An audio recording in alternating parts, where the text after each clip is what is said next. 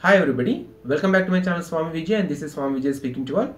In this video I am going to start the first prose lesson from your Hornbill textbook. But before I start the lesson from your Hornbill textbook, let me ask you one simple question. Whom do you like most? Whether you like your parents most or you like your grandparents most?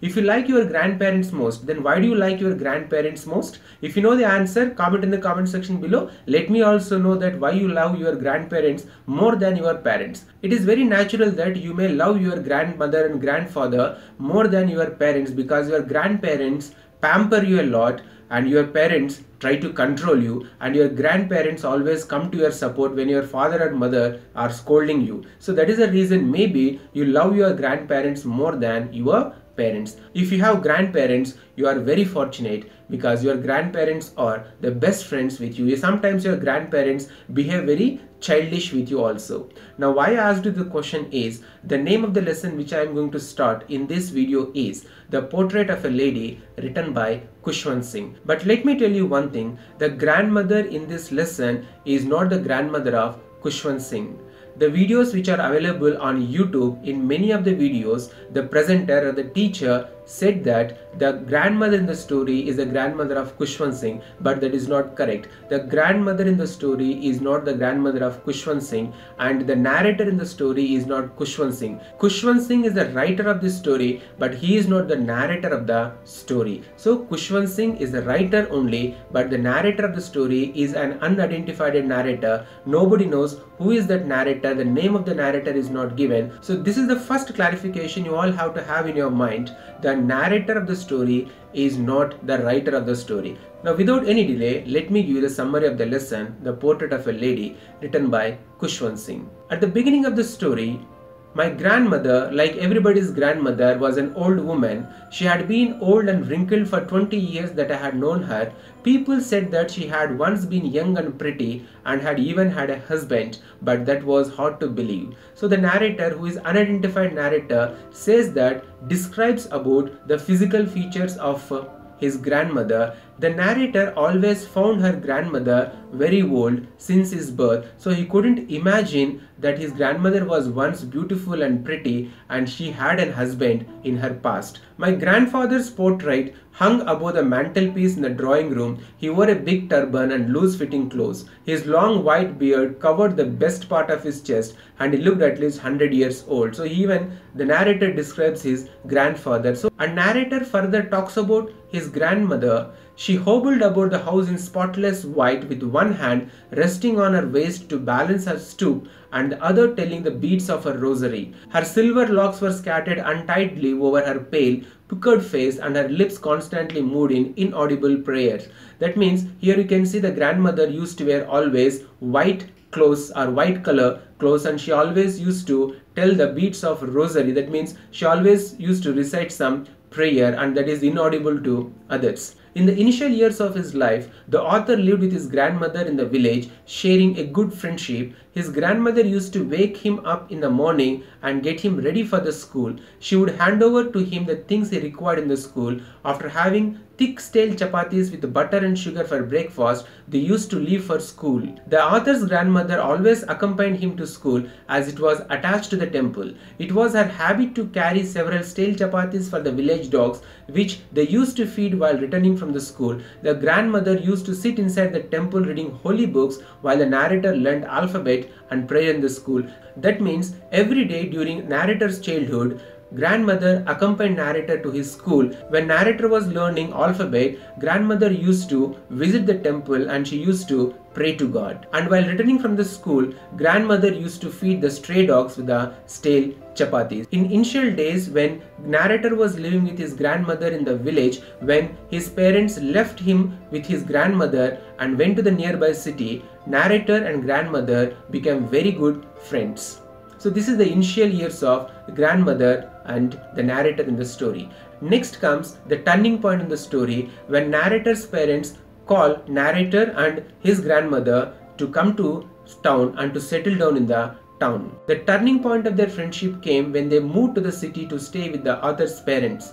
Though they shared the same room, his grandmother no longer accompanied him to the school since the author started going in by bus. As years rolled by, they saw less of each other. Meanwhile, as there was no dogs in the streets, she took to feeding the sparrows. When narrator and his grandmother moved from village to town, he used to go to an English convent school and narrator's mother was not allowed to accompany narrator to his school and he was going to English medium school. In school he was taught about Archimedes principle, the law of gravity but in school they never taught anything about God and scriptures. When grandmother came to know about these things, grandmother disliked the education being provided to his grandson but she was helpless and as there were no stray dogs she started feeding the sparrows and the sparrows used to visit grandmothers every day they sit on the balcony and grandmother used to feed these sparrows with crumbs of bait Unlike the village school, the author was not taught about God and the scriptures, which troubled his grandmother. She did not believe in what was being taught at his school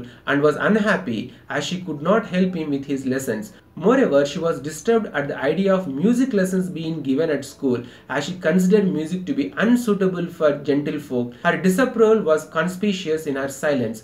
Grandmother was very upset when she came to know that music lessons were being taught to her grandson because she believes that music has a vivid association and it is meant for harlots. What is the meaning of the word harlot? You check the meaning in the dictionary and find out what is the real meaning of the word harlot. And when the author started going to university, he was given a room of his own. It resulted in a further gap between them. She accepted her loneliness and rarely spoke to anyone. All day long, she sat spinning the wheel and reciting her prayers. She relaxed for a short time only in the afternoon to feed the sparrows who came in large numbers. The bond and level of comfort they shared with her is evident in the fact that they perched even on her legs and head. She used to be at her happiest self while feeding the sparrows. So the gap between grandson and grandmother further increased when the narrator started going to university. He was provided a separate room and in the next stage narrator decided to study further visiting a foreign land. The author decided to go abroad for further studies. He was sure that his grandmother would be upset at his departure. On the contrary, she came to the railway station to see him off but did not show any emotion. She was absorbed in her prayers Telling the beads of her rosary, she silently kissed the author's forehead, which the author considered to be supposedly the last sign of their physical contact. When narrator decided to go abroad to study, he thought that his grandmother would be very upset. He believed that his grandmother wouldn't allow him to go to a foreign land to pursue higher studies. But to his surprise, his grandmother didn't say even a single word. She came and bid farewell to his grandson without speaking a single After five years, when narrator returned home, he saw his grandmother always busy in reciting prayers and telling the beads of rosary and feeding sparrows. On the same day, in the evening, for the first time ever, she did not pray. She collected several ladies of the neighborhood and sang songs related to the homecoming of the warriors. She had been persuaded to stop singing in order to avoid overstraining. However, the next day, she was fallen ill. As grandmother collected a dilapidated drum and started singing for Continuously, she had fallen sick. And the next day, though grandmother was diagnosed with a mild fever by the doctor, grandmother knew that her end was near. She decided to spend the last few hours of her life reciting prayers and telling her beads. Soon, her lips stopped moving as she died. In this way, grandmother lost her breath peacefully. The family went to make arrangements for the grandmother's funeral. As they came with a stretcher, they stopped midway to find thousands of sparrows scattered around her dead body. The sparrows mourned the death of the grandmother in utter silence. They ignored the breadcrumbs thrown at them by the author's mother and flew away silently after the body was carried away for cremation. The breadcrumbs were swept away by the sweeper next morning. With this you can understand during childhood grandson and grandmother were close friends and when they moved to the city their bond became weak and when narrator started going to university they have different rooms and when narrator decided to go abroad to pursue higher education, he completely separated from his grandmother. Grandmother was very matured, she understood the way of life. She very well knew that she cannot keep her grandson always with her. She wanted her grandson to grow in her life. That is the reason why she allowed her grandson to pursue his dreams.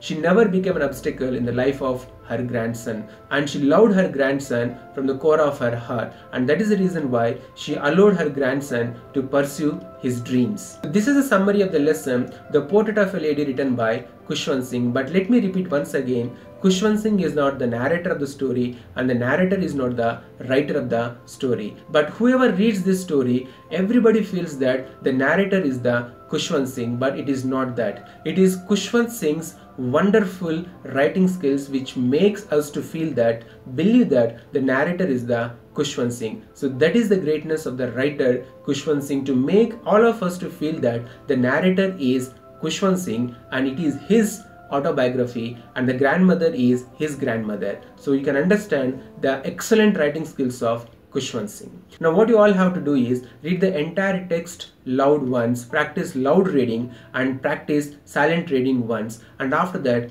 come to understanding the text read the questions given under understand the text and find the answers in the text after that come to talking about the text read the questions given under talking about the text and find the answers in the text and, and try to answer the questions given under thinking about the language. In this way, you have to complete the lesson, The Portrait of a Lady, written by Khushwant Singh. In future, I am going to publish videos on each and every poem and lesson from your Hornbill textbook and for short stories from Snapshot. So if you are not yet subscribed to my channel, please subscribe to my channel and press the bell notification so that you can receive latest updates and information the moment I upload videos on YouTube.